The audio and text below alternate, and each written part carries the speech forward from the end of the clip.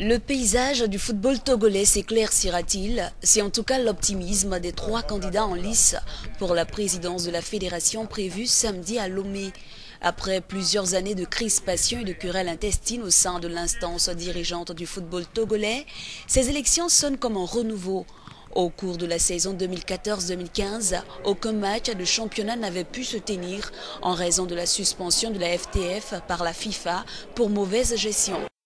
Ce samedi, Germain Wona, Guy Akbovi et Gerson Dobou seront départagés par les 53 délégués des clubs des différents championnats. Ces derniers voteront en fonction de la ligue dans laquelle ils évoluent.